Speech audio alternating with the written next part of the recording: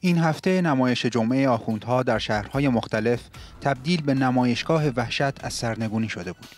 آخوند عبدالرضا محیدینی صحنهگردان نمایش جمعه مهریز گفت این فتنه ها از سال 88 و در سال جاری برای سرنگونی نظام روی داده.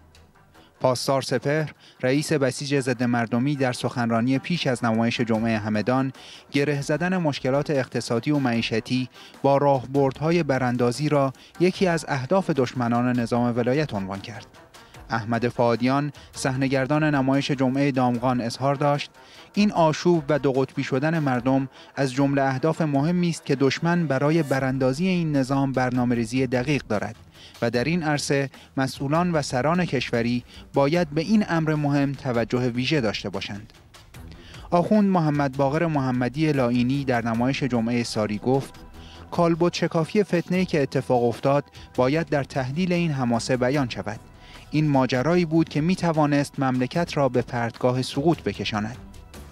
آخوند تقیه روحانی نیز در سیرک جمعه رودسر گفت فتنه هنوز در کشورمان خاموش نشده. باید مراقب کلام و اشاره ولی امر باشیم.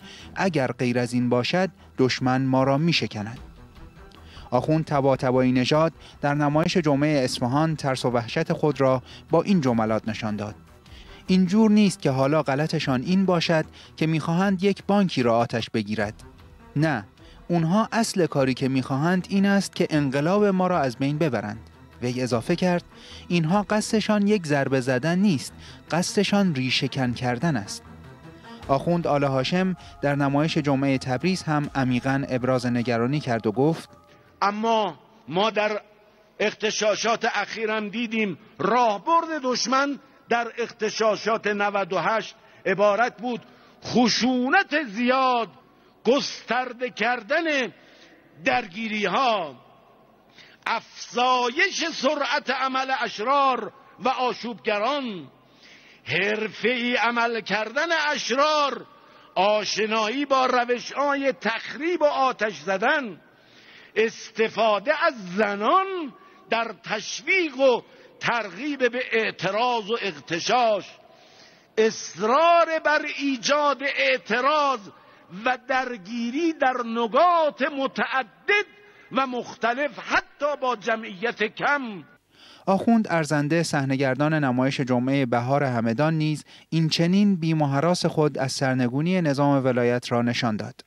این که ما داریم میگیم فتنه 98 فتنه 98 چگونه آغاز شد؟ این فتنه نبوده؟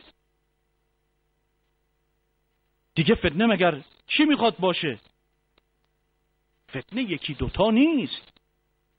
این گونه نیست که من و شما فکر کنیم یک فتنه 88 فتنه 78 فتنه 96 و 98 نه از این فتنه ها متاسفانه زیاد بوده و هست. اگر بخوایم بشماریم خیلی زیاده.